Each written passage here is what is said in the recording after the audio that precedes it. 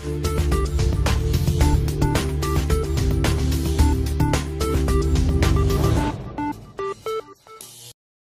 गुजरा शाह मुकीम में gas leakage से खौफनाक धमाका, कमरे की छत उड़ गई। हादसा में बच्चे समेत पाँच अफराज शदीद जख्मी जख्मियों को तशवीशनाक हालत में टीएचक्यू अस्पताल दीपालपुर मुंतकिल कर दिया गया। गुजरा शाह मुकीम के मोहल्ला ईदगाह में कमरे में गैस लीकेज की वजह से अचानक जोरदार धमाका हो गया। धमाका शदीद था कि कमरे की छत उड़ गई। वाक्य के इतला पर rescue one one two two और पुलिस की भारी नफरी मौका पर पहुँच गई, जिन्हें टी एच क्यू अस्पताल दीपालपुर मुंतकिल कर दिया गया। जख्मियों की शिनाख्त पैंसठ साल नसरीन पचास साल शहनाज पचास साल मोहम्मद अमीन दो साल तनवीर और एक एक राहगीर शामिल था खौफनाक धमाके से इलाके में खौफो हरास फैल गया अस्पताल जराये के मुताबिक जख्मियों की हालत तशवीशनाक बताई जाती है ਇਹ ਜੀ ਰਾਤੀ ਗੈਸ ਨਹੀਂ ਸੀ ਹੈ ਤੇ ਗੈਸ ਦਾ ਚੁੱਲ੍ਹਾ ਅੰਦਰ ਲਿਆ ਕੇ ਤੇ ਚੈੱਕ ਕਰ ਲੱਗੇ ਨੇ ਵੀ ਗੈਸ ਆਂਦੀ ਪਈ ਹੈ ਕਿ ਨਹੀਂ ਆਂਦੀ ਪਈ ਉਹ ਗੈਸ ਚਲਾਈ ਨੇ ਗੈਸ ਨਹੀਂ ਸੀ ਆ ਰਹੀ ਰਾਤ ਸੀ, ਉਵੇਂ ਹੀ ਬੰਦ ਕਰਕੇ ਤੇ ਸੌ ਗਏ ਨੇ ਸਾਰੇ।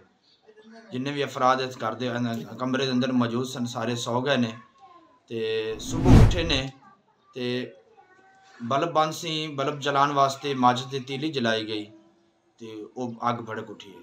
ਜਿਹਦੇ ਨਾਲ ਅੰਦਰ ਧਮਾਕਾ ਹੋਇਆ ਧਮਾਕੇ ਦੇ ਨਾਲ ਯਾਨੀ ਕਿ ਅੱਗ ਵੀ ਫੈਲੀ ਏ ਛੱਤ ਵੀ ਫਟ ਗਈ ਹੈ। ਜ਼ਖਮੀ ਵੀ ਲੋਕ ਹੋਏ ਨੇ ਚਾਰ ਅਫਰਾਦ ਜ਼ਖਮੀ ਹੋਏ ਨੇ ਜਿਨ੍ਹਾਂ 'ਚ ਇੱਕ ਬੱਚਾ ਵੀ ਹੈ ਤੇ ਇੱਕ ਬਜ਼ੁਰਗ ਵੀ ਹੈ ਮੁਹੰਮਦ ਅਮੀਨ ਉਹ ਕਾਫੀ ਜਲ ਗਏ ਨੇ ਹਸਪੀਟਲ ਨੇ